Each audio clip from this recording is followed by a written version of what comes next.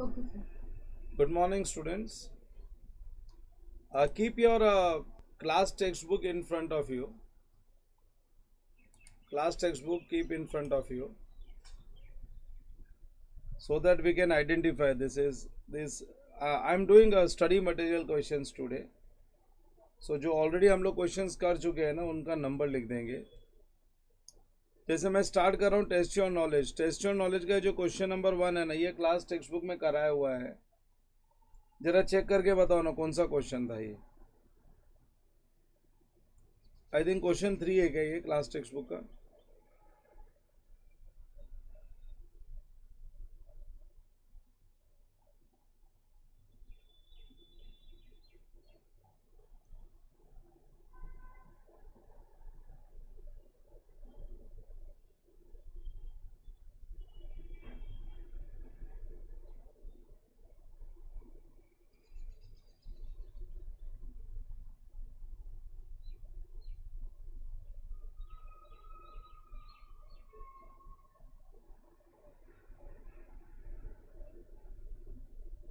जो क्वेश्चंस हम लोग ऑलरेडी कर चुके हैं ना, उनके बाजू में मैं खाली नंबर लिख दूँगा।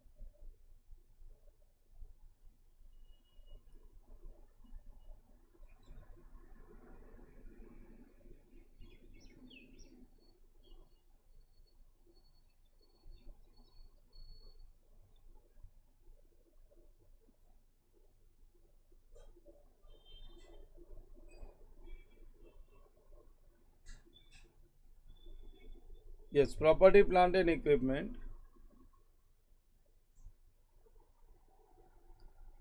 हाँ देख लो, ये क्वेश्चन नंबर थ्री है ना? Cost of plant twenty five lakhs यही है सेम कॉस्ट ऑफ़ प्लांट और लास्ट में क्या है?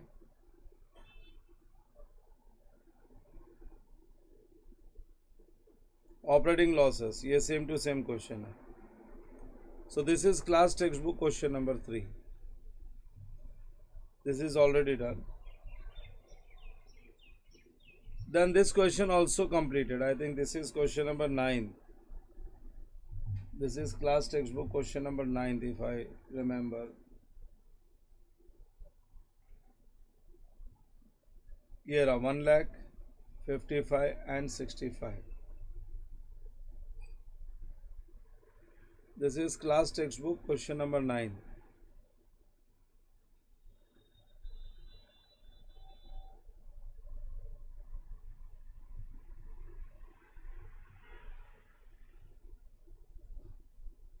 So this also we have completed.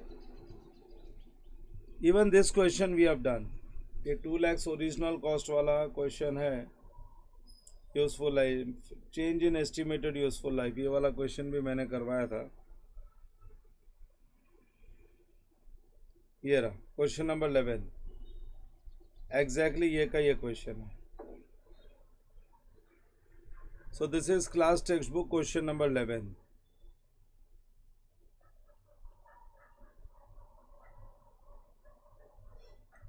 class text book question number eleven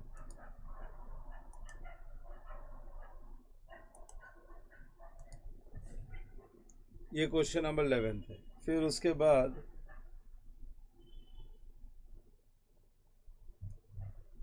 ये कॉम्पनसेशन वाला क्वेश्चन भी करवा दिया, ये भी मैंने करवा दिया।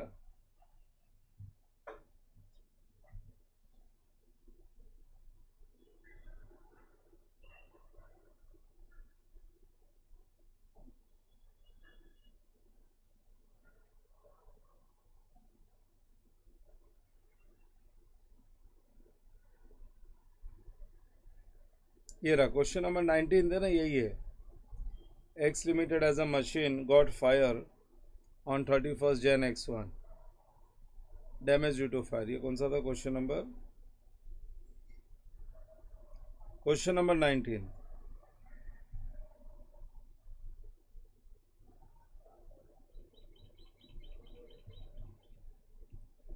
this is class textbook question number 19 और ये क्वेश्चन नंबर फाइव और सिक्स है ना? क्वेश्चन नंबर ट्वेल्व और थर्टीन है। क्लास टेक्स्ट बुक का question number twelve and thirteen है। वो change in decommissioning expenses से रिलेटेड है।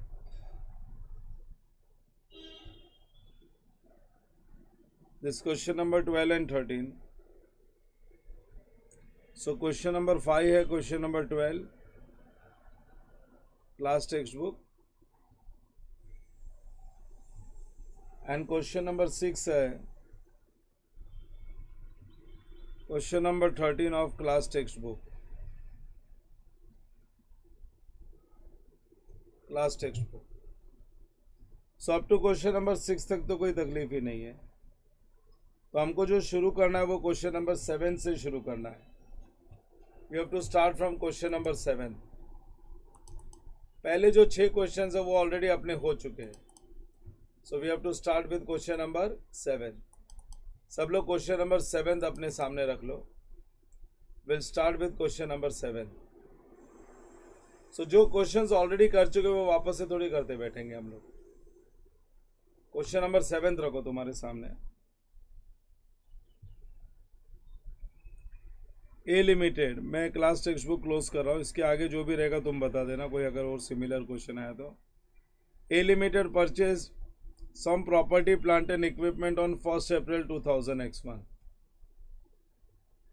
and estimated their useful lives for the purpose of financial statements prepared on the basis of India's. Following were the original cost and useful life of various components of property, plant and equipment assessed on 1st April 2000 X1. 1st April 2000 X1 जिस दिन हमने खरीदा उस दिन का अपना assessment है देख लो कॉस्ट है 15 लैक्स लाइफ है 15 years so that means one lakh rupees depreciation per year अगर यहाँ पे एक कॉलम और बना लूँ depreciation per year so fifteen lakhs fifteen lakhs divide by fifteen years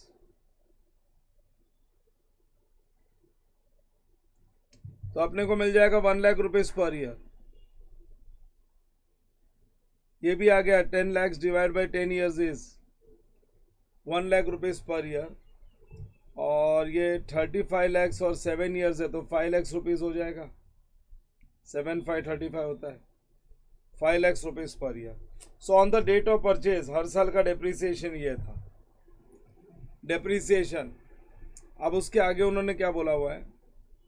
A limited limited user straight line method of depreciation and on first April two thousand X four first April two thousand X four का मतलब है खरीदा कभी था? X one में ख़रीदा था। X one X two first year X two X three second year X three X four इस थर्ड ईयर तीन साल कंप्लीट हो गया। And first April X four का मतलब है beginning of fourth year three years already gone तीन साल जा चुका है। मतलब तीन साल जाने का मतलब है, पहले वाली मशीन ये जो है ना, ये ये बारह लाख की हो गई। तीन साल का डिप्रिसिएशन माइनस हो गया, ये ट्वेल्व लैक्स हो गया। और ये हो गई सेवन लैक्स की। और इसमें से भी फिफ्टीन लैक्स चला गया तो ये हो गई ट्वेंटी लैक्स की। तो तीन साल के बाद में इनकी ये बुक वैल्यूज़ है। समझा ना ये जिस दिन अभी जो चेंजेस आने वाला है ना उस दिन इनकी बुक वैल्यू इतनी है। अब क्या चेंजेस आ रहा है? The entity reviewed the following useful lives of the property, plant and equipment through an external valuation report. अब यूजफुल लाइफ बोलते हैं इसकी टेन ईयर्स है इसकी सेवन ईयर्स और इसकी फाइव ईयर्स तो एकदम सिंपल है। अब जो यूजफुल लाइफ है उसमें इनका कॉस्ट डिस्ट्रीब्यूट कर देने का ये जो बारह लाख रुपया है ये दस साल में डिस्ट्रीब्यूट कर दो। ये सेवन लैक्स से ये सात साल में डिस्ट्रीब्यूट कर दो, ये बीस लाख रुपया पाँच साल में डिस्ट्रीब्यूट कर दो और कुछ नहीं है। इट्स वेरी सिंपल सो अगर अब मैं नया डिप्रिसिएशन देखूँ तो इनकी वैल्यूज़ क्या बची थी उस दिन? चेंज वाले दिन ये बारह लाख रुपए का था। चेंज वाले दिन ये सात लाख रुपए का, ऊपर देखो वैल्यू लिख रखी है मैंने। ये लिखा है ना बारह लाख, सात लाख। और बीस लाख। सो so, अब ये जो रिमेनिंग कॉस्ट बचा हुआ ये नए लाइफ में डिस्ट्रीब्यूट कर दो। सो so, यहाँ पे हो जाएगा one lakh twenty thousand this will be 1 lakh rupees per year in next 7 years and this is four lakhs per year और क्या चाहिए?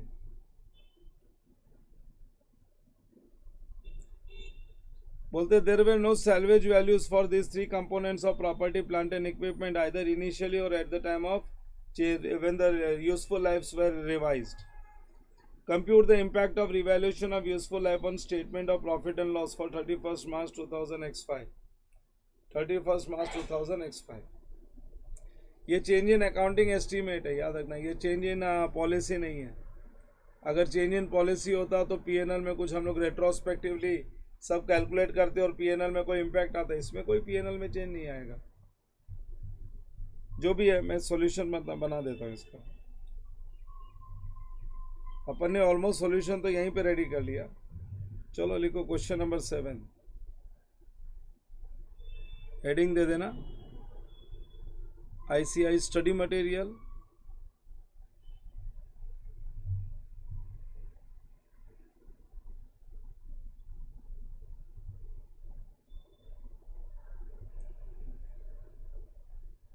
test your knowledge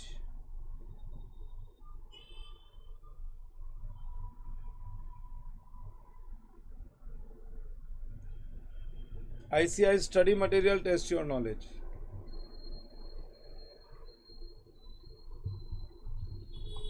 ठीक है ना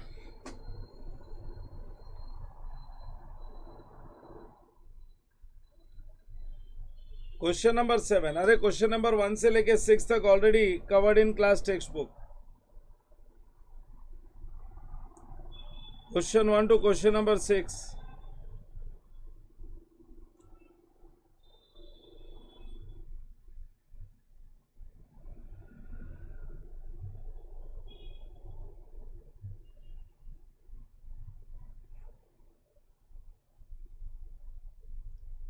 This is covered in class textbook.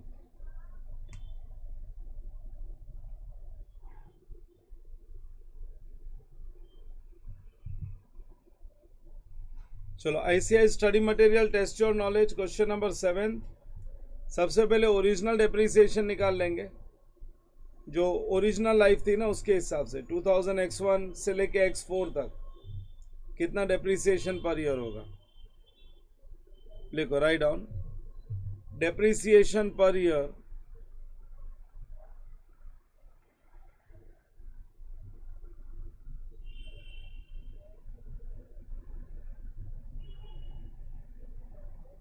per year as per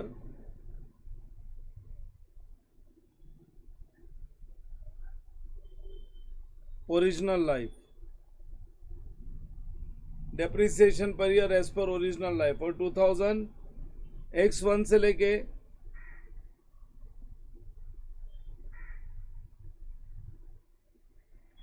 to thousand X four क्योंकि first April X four को change हो रहा है ना। So two thousand X one से लेके टू थाउज़ेंड एक्स फोर तक वो ओरिजिनल एस्टिमेशन ही चला।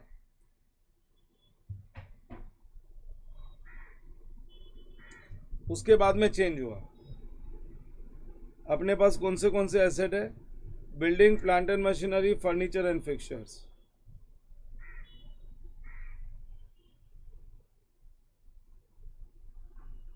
building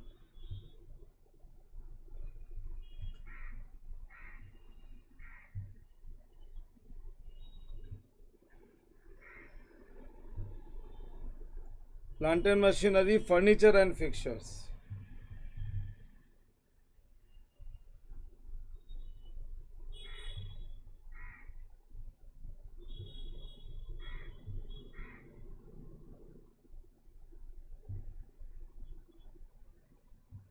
building plant and machinery, furniture and fixtures.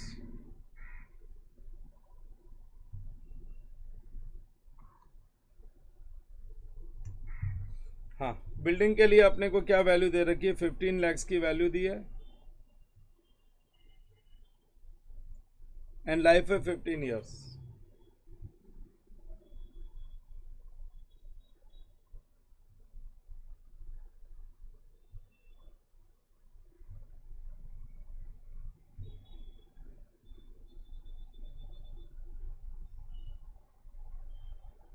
हाँ फिफ्टीन ईयर्स बराबर ना? सो so, कितना हो गया? One lakh rupees per year हो गया। फिफ्टीन लाख से क्या? फिफ्टीन करोड़ से अरे रे मैंने जीरोस नहीं देखे प्रॉपर्टी ये कितने जीरोस है? तीन दो ये एक करोड़ पचास लाख है। पंद्रह लाख नहीं है। एक करोड़ पचास लाख है।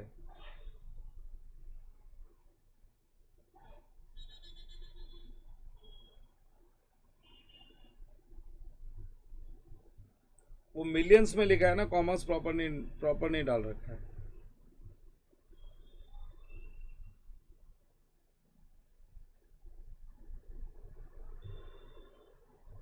One crore fifty lakhs divide by fifteen years तो ये टेन लैक्स रुपीज़ हो जाएगा per year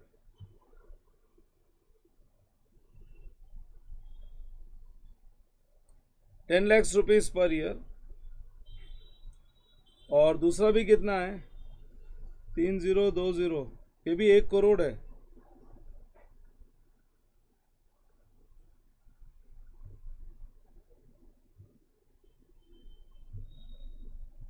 Divide by 10 years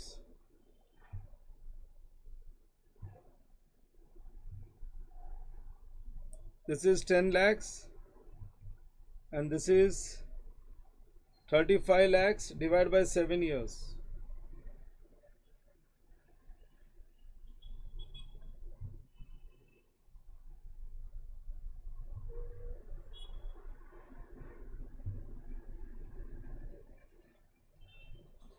divided by 7 years that gives us 5 lakhs rupees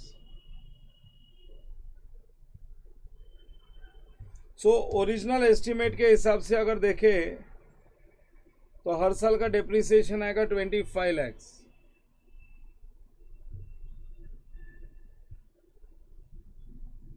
twenty five lakhs और फिर 2000 एक्स फोर एक्स फाइव में ये चेंज हुआ है। डेप्रीसिएशन पर ईयर एक लाइन छोड़ के लिखना।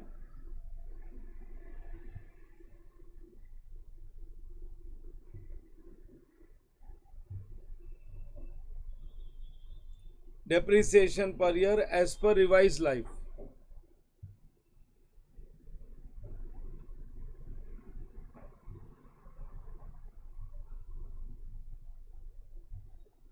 और रिवाइज लाइफ के हिसाब से 2000 एक्स फोर और एक्स फाइव ये वाले साल में कितना पर ईयर होएगा?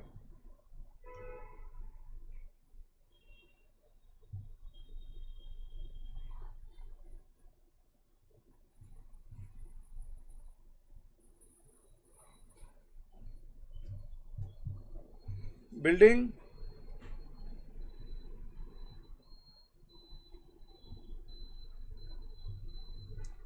two thousand X one से एक्स फोर तक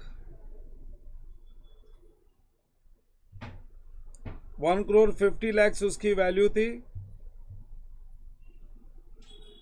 दस लाख का डिप्रिसिएशन निकालना था, तीन साल निकल गया ना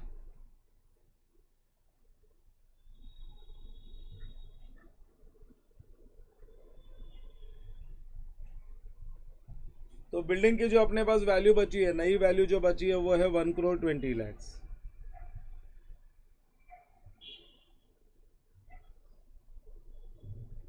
regarding plant and machinery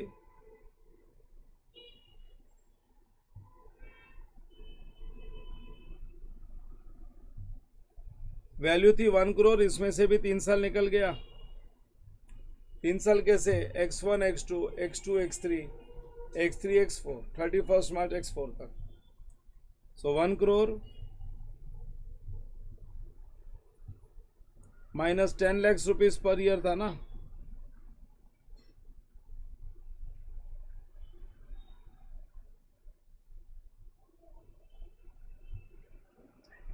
so thirty lakhs निकल गया।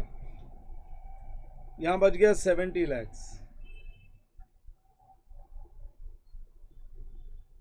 हाँ सेवेंटी लैक्स बच गया। Value remaining is seventy lakhs और regarding furniture and fixtures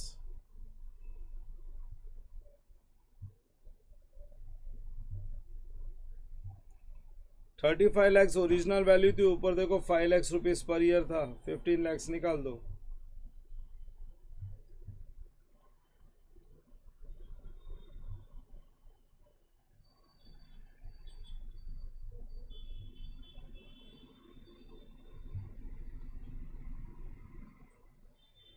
twenty lakhs अब इनकी रिवाइज लाइफ रिवाइज लाइफ देख लो कितनी है।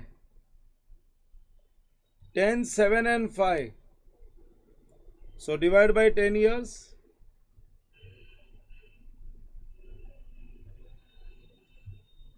divide by 7 years and divide by 5 years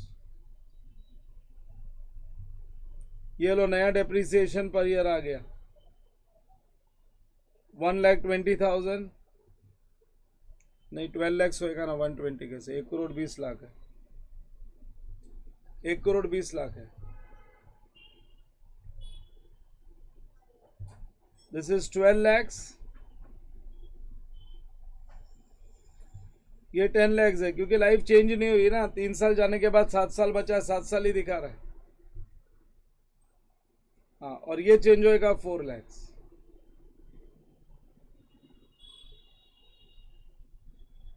इसका मतलब है पहले पच्चीस लाख रुपए लग रहा था। अब कितना हो गया? अब मिला के हो गया twelve plus ten, twenty six lakhs हो गया।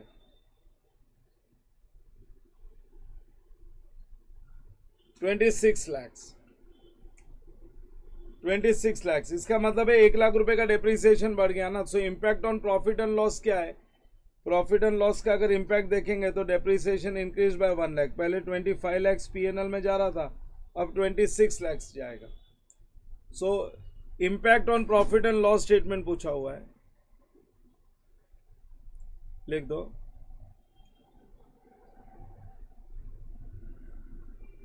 Impact on P&L statement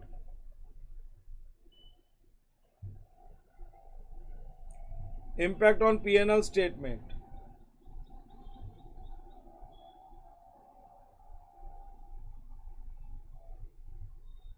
depreciation per year.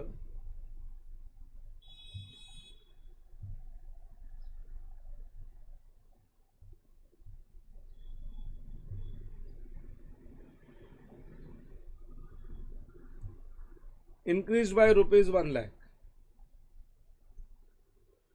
पहले पच्चीस लाख लग रहा था और अभी लगेगा छब्बीस लाख, बस यही है। सी, याद रखना, ये चेंज इन अकाउंटिंग एस्टीमेट है, ये कोई चेंज इन अकाउंटिंग पॉलिसी नहीं है। सो अकाउंटिंग एस्टीमेट बदला हुआ है, और एस्टीमेट जब बदलता है तो प्रोस्पेक्टिवली बदलता है, कोई पुराने पहले से डे वन से नहीं, अपने को चेंजेस करने का है। तो X four X five onwards extra एक लाख रुपए का डेप्रीसिएशन पी में आने लगेगा। जब तक फर्दर रिविजन नहीं हो, पहले 25 लाख लग रहा था, अभी 26 लाख लगेगा। एक नोट लिख लो और ख़त्म करते हैं कि ये चेंज इन अकाउंटिंग एस्टीमेट है, और कुछ नहीं। write on note. Note is part of the answer. The change in estimated useful life.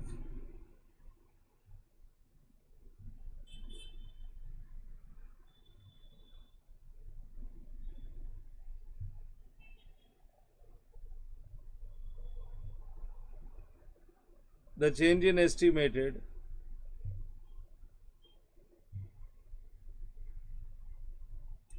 the change in estimated useful life of property plant and equipment.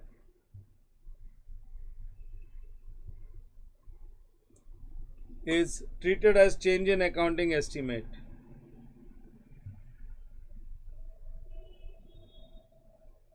Is treated as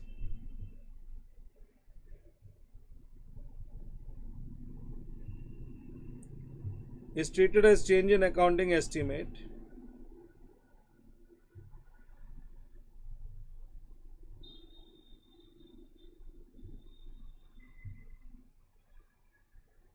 is treated as change in accounting estimate as per Ind AS 8.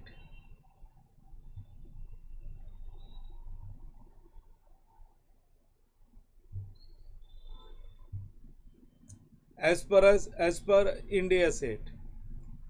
and any change in accounting estimate prospectively estimate बदलना होता है prospectively मतलब जिस दिन बदला उस दिन से कोई पुराना पुराना कोई ईयर में चेंजेस नहीं करना है अपने and any change in?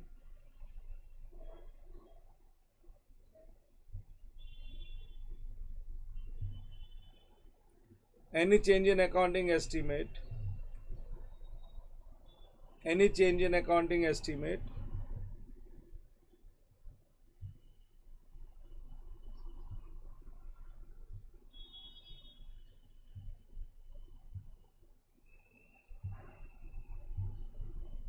Is adjusted. Any change in accounting estimate is adjusted prospectively.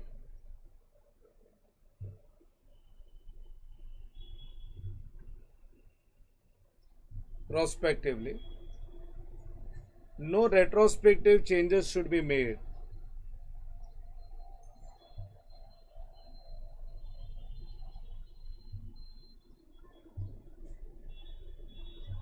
no retrospective changes.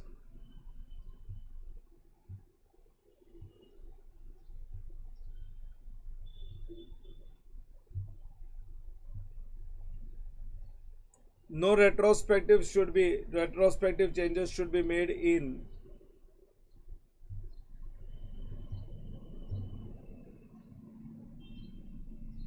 Should be made in financial statements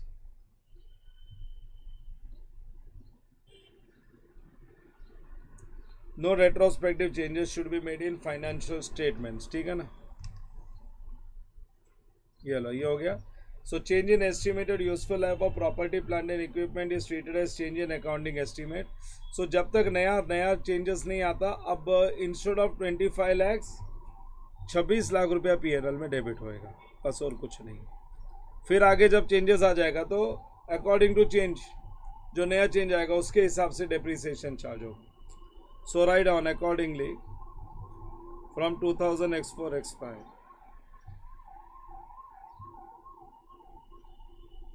Accordingly,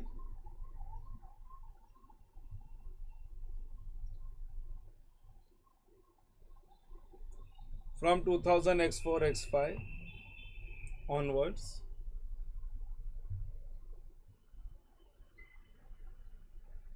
So accordingly from 2000 X4 X5 onwards excess of 1 lakh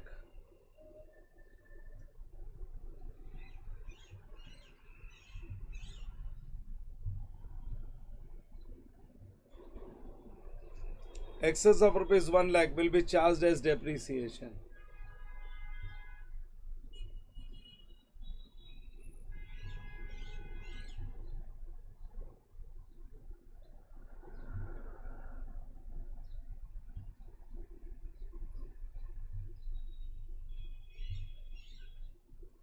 excess of rupees 1 lakh will be charged as depreciation in.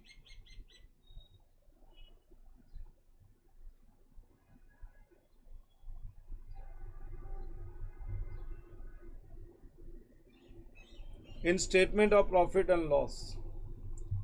In statement of profit and loss per year.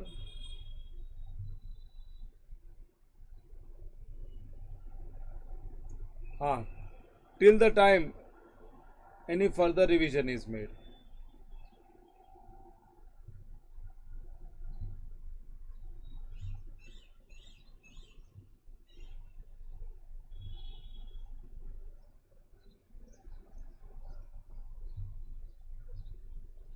बहुत ही simple answer है, इसमें कुछ था ही नहीं retrospective का मतलब होता है, पहले एक ऐसा तरीका था डेप्रिसिएशन का मेथड जब बदलता था ना तो हम लोग क्या करते थे ये करते थे रेट्रोस्पेक्टिव चेंज करते थे। राइट फ्रॉम बिगनिंग हम ये मानते थे कि ये नया वाला मेथड ही है। अगर राइट फ्रॉम बिगनिंग नया वाला ही मेथड होता तो क्या डिप्रिसिएशन चार्ज हुआ होता? और हमने कितना चार्ज किया? तो उसका डिफरेंस होता था ना एक्सेस और शॉर्ट डिप्रिसिएशन वो पीएनएल में जाता था। अब ऐसा कुछ नहीं है। पहले हम लोग 25 लाख रुपए हर साल कर रहे थे एस्टीमेट बदला तो अब 26 लाख करते जाएँगे, फिर फ्यूचर में एस्टीमेट बदलेगा तो और चेंजेस आ जाएगा और कुछ नहीं। सो so, अभी जिस दिन चेंज आए उस दिन से चेंज करने का। जिस दिन चेंज आए उसी दिन से चेंज अप्लाई कर देने का। बैक डेट में नहीं जाने का। उसको बोलते हैं प्रोस्पेक्टिव उसको प्रोस्पेक्टिव बोलते हैं। चलो this is question number seventh I have completed मेरे तरीके से मैंने खत्म किया। अगला question will go for the next question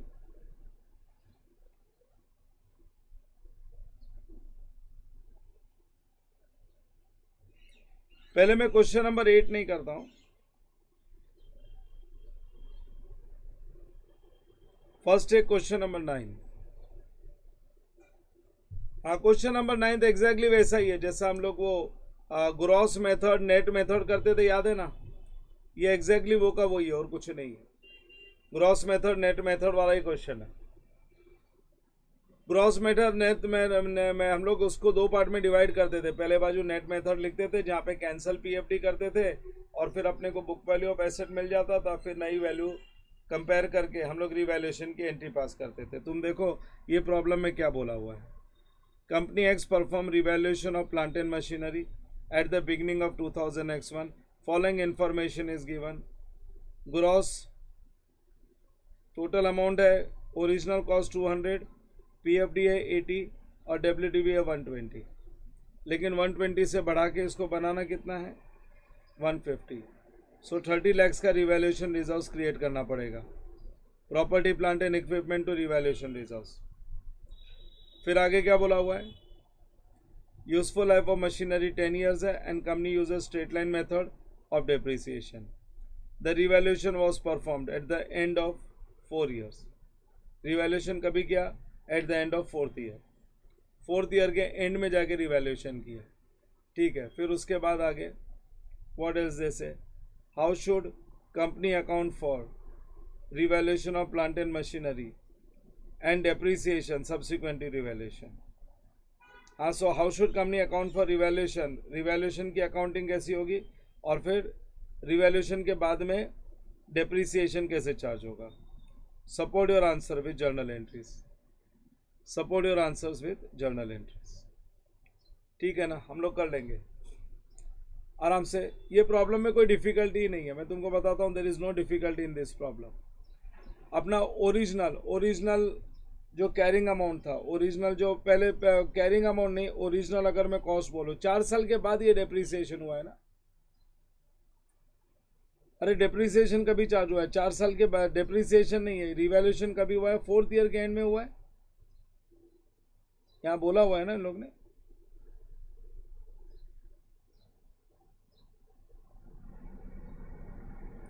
Revaluation was performed at the end of fourth year हाँ revaluation was perform at the end of fourth year company X performed a revaluation of plant and machinery at the beginning of two thousand X four two thousand X one and उस दिन ये ये information थी अपने पास।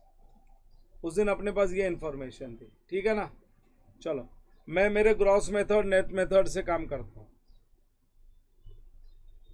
Question number nine methods of revaluation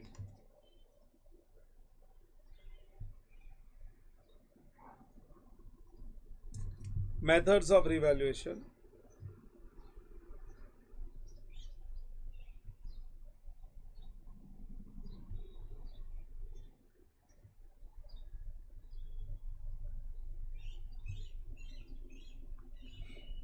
uh, methods of revaluation.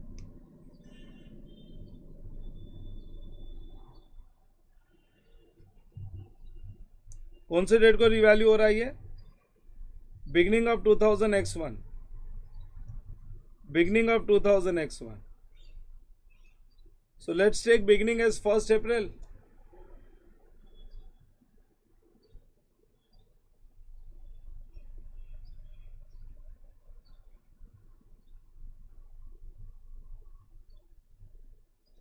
revaluation as on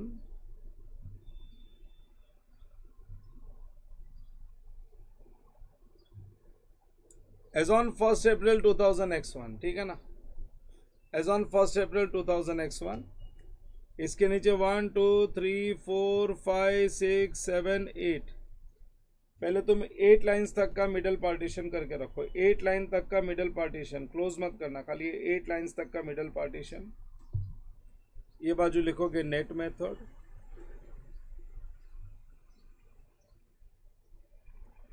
और ये बाजू लिखोगे ग्रॉस मेथड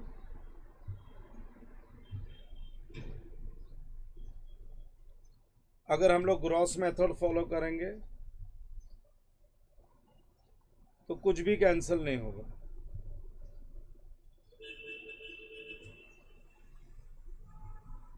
यहाँ पे हम लोग चार इक्वल कॉलम बनाते थे।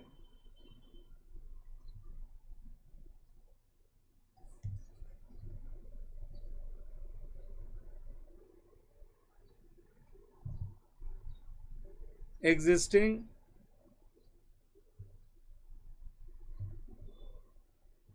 existing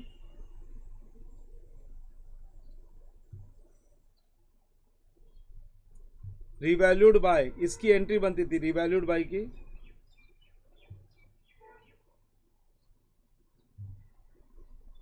And revalued at revalued by and revalued at cost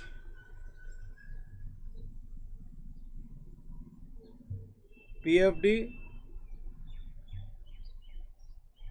and W cost PFD and WDV cost PFD and WDV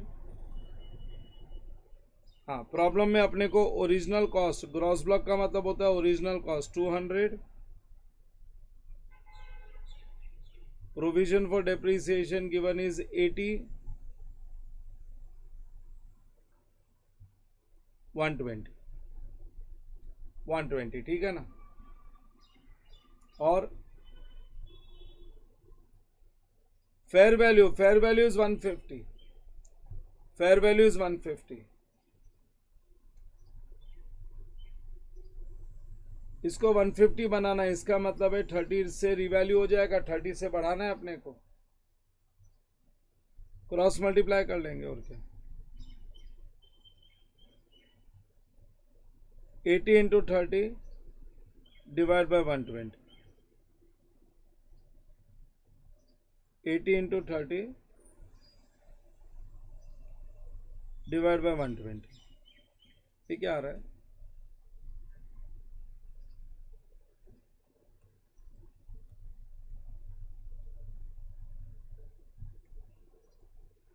you are getting twenty बराबर ना? सो ये ट्वेंटी माइनस होके थर्टी है तो ये फिफ्टी हो जाएगा। ये लो हो गया two fifty. This is hundred and this is one fifty ये जो रिवैल्यूड बाई है इसकी एंट्री पास कर देंगे। पहले तो उनको एंट्री फॉर रिवैल्यूएशन चाहिए। They want accounting entry journal entry के साथ चाहिए। So So, for revaluation of asset,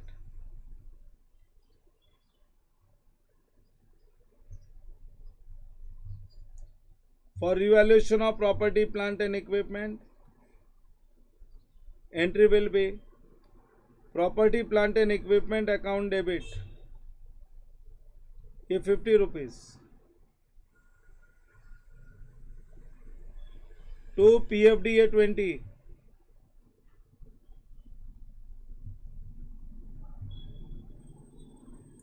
और ये थर्टी के लिए to revaluation reserves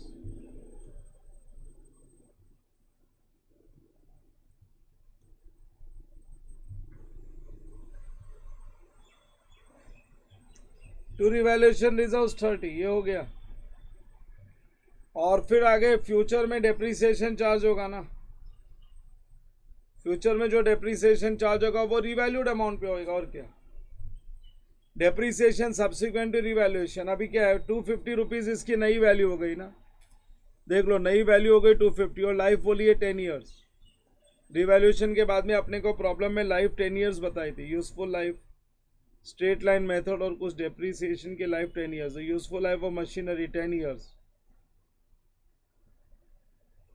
ten years so ten years के हिसाब से अब डेप्रीसिएशन अगर चार्ज होगा सो पीएफडी मेथड है। So, new depreciation.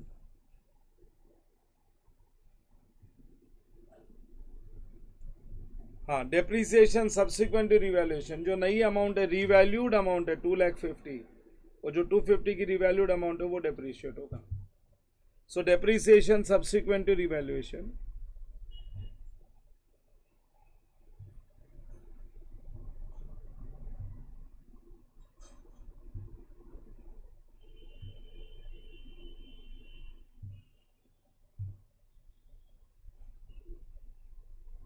depreciation subsequent to revaluation ये जो रिवैल्यूड अमाउंट है two fifty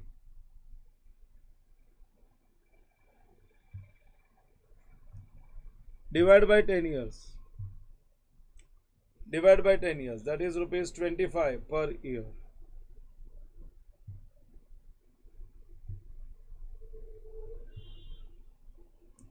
twenty five rupees per year ये तो हो गया ग्रॉस मेथड अपना दूसरा मेथड है नेट मेथड अगर मैं इसके लिए एंट्री पास करूँ डेप्रीसिएशन की तो पीएफडी मेथड में एंट्री बनती है depreciation account debit to PFD account depreciation account debit to PFD account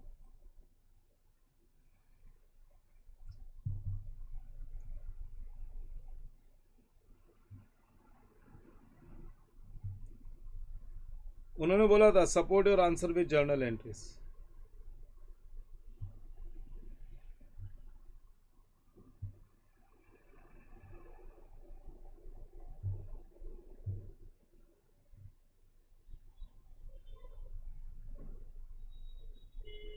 ये हो गया gross method complete.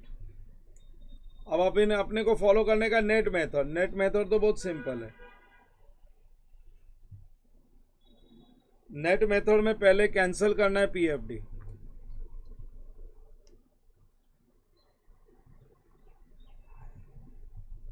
Cancel PFD account.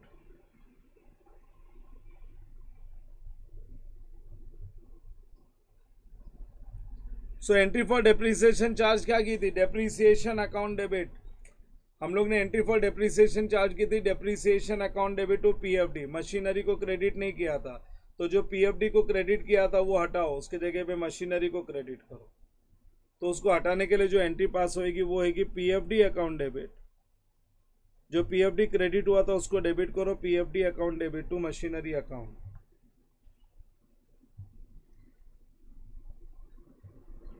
कितना था पुराना P F D eighty rupees पुराना P F D eighty rupees ही हटा दो। अब एसेट की वैल्यू हो गई नेट वैल्यू हो गई। अब नेट वैल्यू होने के बाद में कितनी हो गई बुक वैल्यू पहले अपने एसेट की वैल्यू थी, ये टू हंड्रेड थी ग्रॉस उसमें से एटी हटा दिया।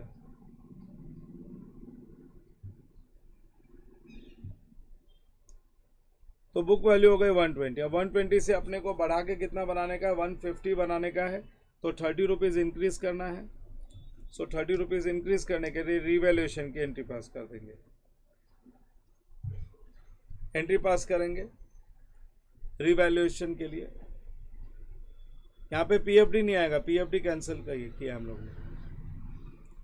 Revaluation of PPE so at अपने को वन ट्वेंटी की वैल्यू है, ये वन ट्वेंटी से बनाना है one fifty so property plant and equipment thirty बढ़ा दो. Property plant and equipment account debit to revaluation reserves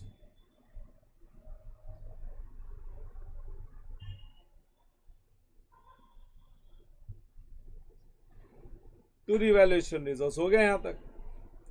अब इसके बाद में अपने को डेप्रीसिएशन चार्ज करना है। अब नई वैल्यू 150 हो गई। अरे न्यू वैल्यू कितनी है? 150 है। Number C so depreciation subsequent to revaluation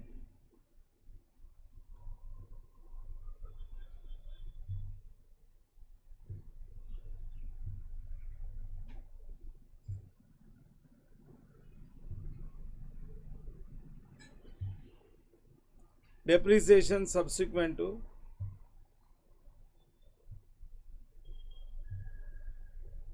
subsequent to revaluation.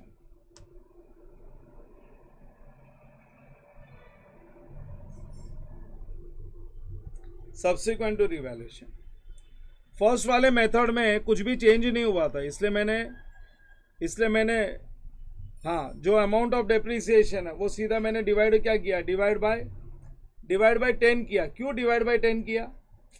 क्योंकि टेंथ ईयर में ये वैल्यू ज़ीरो होनी चाहिए। मैंने पीएफडी को भी बढ़ा दिया। मतलब मैंने जितना कॉस्ट बढ़ाया ना, उतना मैंने पीएफडी भी बढ़ा दिया। जितना कॉस्ट बढ़ा उतना मैंने पीएफडी भी बढ़ा दिया। लेकिन अब मैंने पीएफडी नहीं बढ़ाया ना। अरे तो दस साल में से, दस साल में से ऑलरेडी कितना साल निकल चुका है? चार साल निकल चुका है तो अपनी लाइफ सिक्स ईयर्स ही बची है। यहाँ पे ये इंपॉर्टेंट है। देखो, यहाँ पे डेप्रीसिएशन के लिए मैंने क्या किया था? चेक करो इधर। मैंने 250 डिवाइड बाय 10 इयर्स किया है। क्यों 10 इयर्स किया है? क्योंकि जितना जितना मैंने एसेट की वैल्यू बढ़ाई है, उतना मैंने डेप्रीसिएशन पीएफडी भी तो बढ़ाया मतलब उतना मैंने पीएफडी डेप्रीसिएशन भी तो ऐड कर दिया पीएफडी में। पीएफडी में डेप्रीसिएशन भी ऐड कर दिया मैंने। तो अगर डेप्रीसिएशन भी ऐड कर दिया है, मैंने डेप्रीसिएशन को भी अगर बढ़ा दिया है तो जो भी रिमेनिंग है रिमेनिंग है, उसको मैं इनफैक्ट मैंने कुछ चेंज ही नहीं किया है। ग्रॉस मेथड में I have not change anything gross method में मैं कुछ भी चेंज नहीं करता हूँ। मैं कॉस्ट को भी बढ़ा देता हूँ पीएफडी को भी बढ़ा देता हूँ तो ultimately things remains the same things remains the same तो डेप्रीसिएशन सेम चलता रहेगा। डेप्रीसिएशन में कोई बदलाव नहीं आएगा। So divide by ten years होएगा, लेकिन यहाँ पे मैंने डेप्रीसिएशन हटा ही दिया है। डेप्रीसिएशन हटा ही दिया, अगर डेप्रीसिएशन हटा ही दिया तो मेरे पास अब जो बुक वैल्यू है वन फिफ्टी है। Book value is one fifty और दस साल में से चार साल निकल गया तो लाइफ है सिक्स ईयर्स लाइफ है six years so one fifty minus six sorry one fifty divide by six ये जो अमाउंट है सेम आएगा rupees twenty five per year C method के वजह से डेप्रीसिएशन पर ईयर चेंज नहीं होएगा। Depreciation per year will remain the same twenty five per year but यहाँ पे डिवाइड बाय सिक्स ईयर्स लेना पड़ेगा। क्योंकि यहाँ पे हम लोग ने, यहाँ पे हम लोग ने डेप्रीसिएशन पुराना हटा दिया, यहाँ पे कुछ हटाया नहीं है। देखो, अगर एसेट की वैल्यू इंक्रीज हुई है टू फिफ्टी हुई है तो डेप्रीसिएशन भी उतना बढ़ा दिया था हम लोग ने। So in fact we have not change anything same वही चल रहा था। बट यहाँ पे डेप्रीसिएशन हटा दिया तो रिमेनिंग लाइफ सिक्स ईयर्स बची है तो सिक्स ईयर्स का डेप्रीसिएशन पुराना तो हम लोग ने निकाल ही दिया PFD so remaining six years का ही डेप्रीसिएशन आएगा। अगर मैं एंट्री पास करूँ तो यहाँ पे एंट्री डेप्रीसिएशन यहाँ पे पीएफडी की एंट्री नहीं आएगी। यहाँ पे एंट्री आएगी depreciation account debit depreciation account debit to plant and machinery depreciation account debit to plant and machinery वहाँ पे पीएफडी लिखा था, यहाँ पे depreciation to plant and machinery depreciation to plant and machinery दोनों में फ़र्क ये ईयर्स का ही है। फ़र्क ईयर्स का ही अगर यहाँ पे पीएफडी को इंक्रीज नहीं किया होता तो यहाँ पे भी डिवाइड बाय सेकंड वाले केस में भी डिवाइड बाय सिक्स ईयर्स ही करता था। डिवाइड बाय सिक्स ईयर्स ही। बट यहाँ पे मैंने क्या फ़र्स्ट वाले केस में पीएफडी हटाई दिया, इधर पीएफडी हटाई दिया ना तो डिवाइड बाय यहाँ पे भी अगर पीएफडी हटा दिया होता था पीएफडी नहीं इंक्रीज किया होता तो डिवाइड बाय सिक्स ईयर्स था।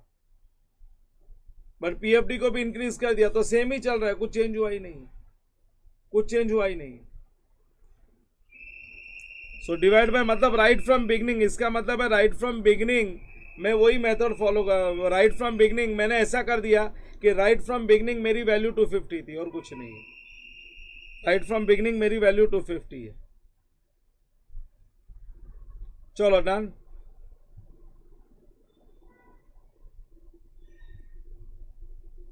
अरे, हो गया क्या सबका कंप्लीट मैं तुमको एक एनालिसिस बताता हूँ, देखो, सुनो सुनो. ओरिजिनल कॉस्ट ऑफ़ एसेट कितना था अपने पास? 200 ओरिजिनल कॉस्ट ऑफ़ एसेट है 200 दो मिनट देख लो खाली. और चार साल में 80 का मतलब है 20 years per year depreciation 20 lakhs per year into four से हो गया 80 डेप्रीसिएशन 20 इंटू फोर से हो गया 80 तो अपनी बुक वैल्यू क्या बन रही है? बुक वैल्यू हो गई 120 चार साल के बाद बुक वैल्यू है 120 अब हम लोग वैल्यू को इंक्रीज कर कितना? थर्टी से इंक्रीज कर रहे हैं और लाइफ बची हुई चार साल चले गए तो लाइफ बची हुई सिक्स ईयर्स इसका मतलब है डेप्रीसिएशन फाइव से बढ़ना चाहिए। अब नई नई जो वैल्यू आ रही है वो कितनी आ रही है? थर्टी लैक्स आ रही है। नई वैल्यू आ रही है thirty lakhs. So two hundred already था। नई वैल्यू इसमें कितनी ऐड हो रही है? थर्टी और ऐड हो रही है। और लाइफ बची हुई है, लेकिन ये थर्टी किधर ऐड होने वाली है? इधर ऐड होने वाली है। चार साल डिप्रिसिएशन चार्ज होने के बाद थर्टी इधर ऐड होने वाली है। सो थर्टी ऐड होने के बाद में क्या है? पुराना ट्वेंटी का डिप्रिसिएशन तो चलेगा ही। पुराना डेप्रीसिएशन तो चलेगा ही क्योंकि सिक्स ईयर्स लाइफ बाकी है। लेकिन ये थर्टी पे भी तो सिक्स ईयर्स का डिप्रिसिएशन आएगा। फाइव सो अब नया डिप्रिसिएशन जो होएगा वो ये दोनों मिला के ट्वेंटी फाइव होने वाला है। सो so, डिप्रिसिएशन का अमाउंट नहीं बदलेगा।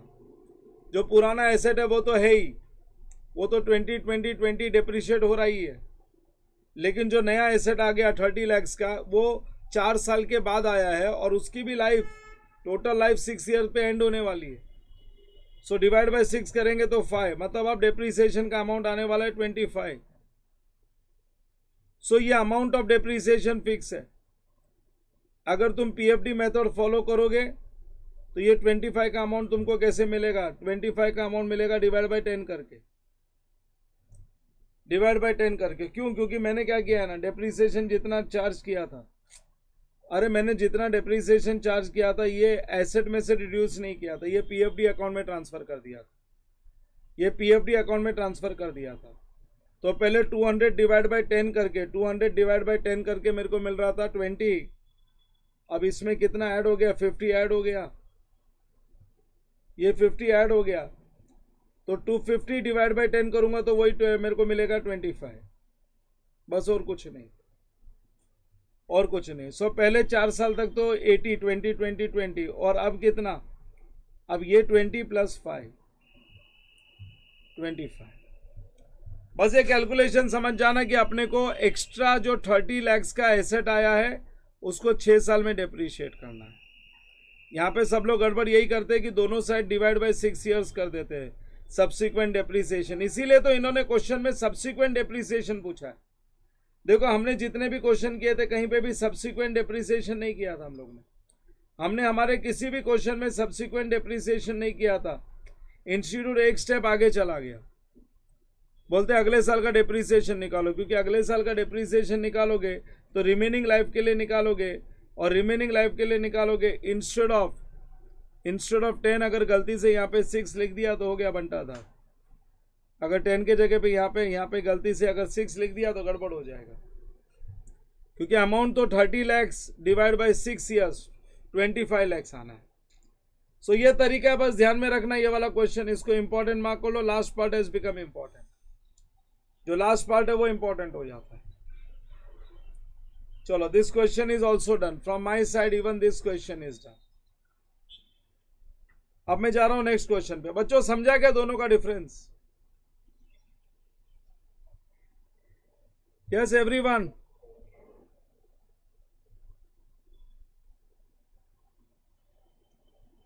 I am going for the next question. So, we have done question number ninth also.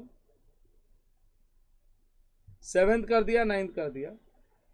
Six तक तो ऑलरेडी हो ही चुका था क्लास टेक्स्ट बुक में कवर ही हो गया था। एट तक पेंडिंग रखा है। पहले इलेवेंथ क्वेश्चन पे जाएँगे।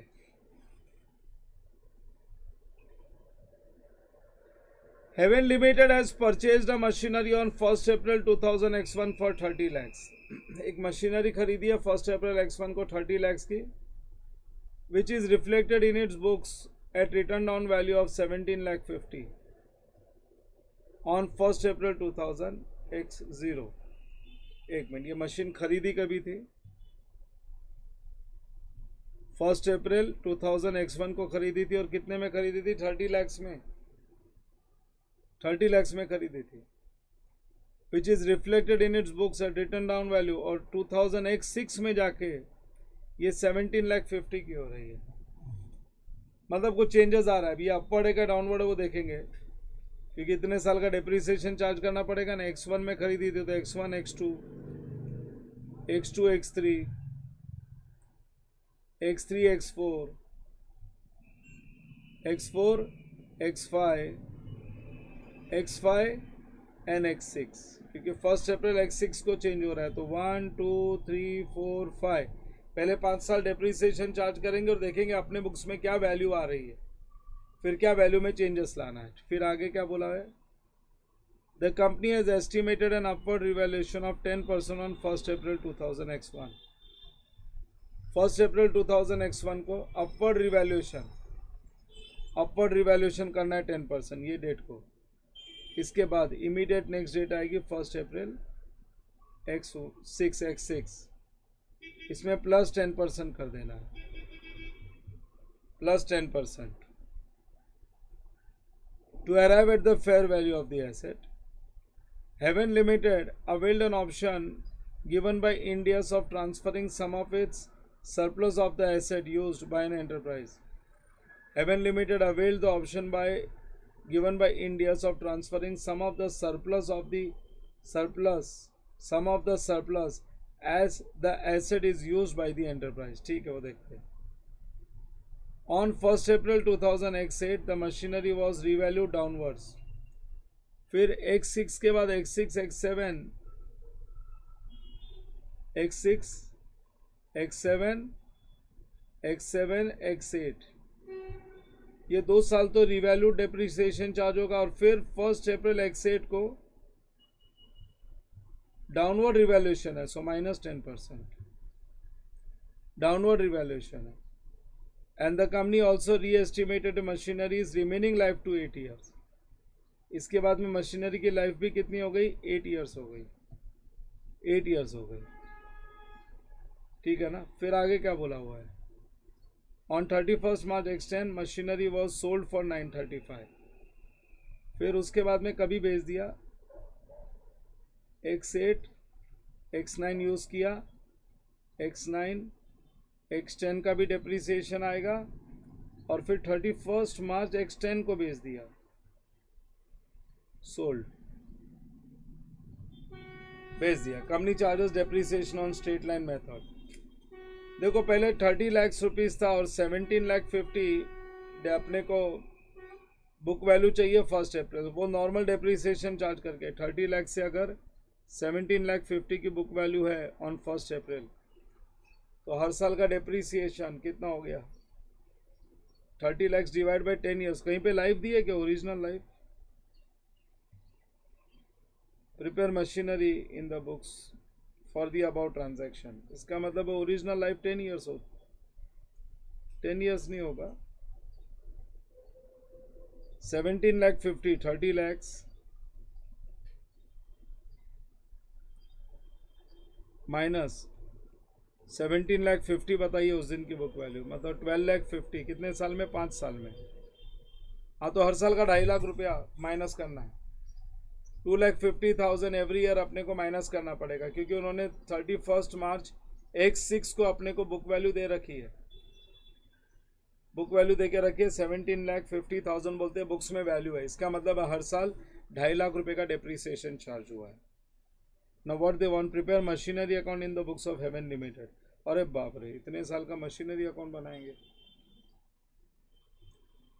मशीनरी अकाउंट लिखो। बनाएँगे, चलो ठीक है। फाइनल सीए के लेवल पे ऐसा क्वेश्चन नहीं पूछना चाहिए। क्वेश्चन नंबर इलेवन बोलते prepare machinery account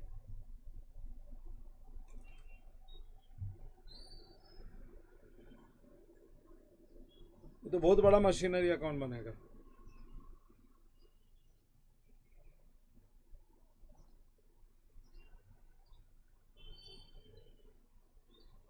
Machinery account heavens limited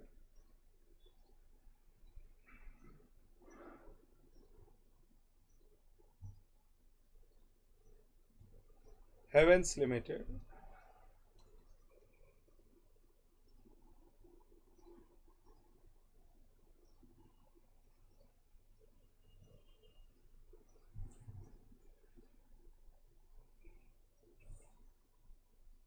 दस दस लाइन बढ़ाओ बढ़ बना लो और एक्सटेंड करते जाना और कुछ नहीं। सबसे पहले फ़र्स्ट अप्रैल एक्स वन को परचेज किया है थर्टी लैक्स का। थर्टी लैक्स का परचेज किया है। फ़र्स्ट अप्रैल एक्स वन को। So machinery account debit to cash bank तो स्क्रीन बोर्ड शेयर नहीं हो रहा है। अच्छा एक मिनट है।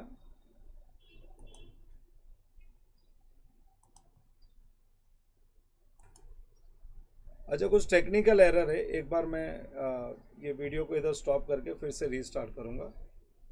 वो कुछ स्क्रीन फ्रीज हो गई है। तो वापस से करता हूँ हो जाएगा ठीक है?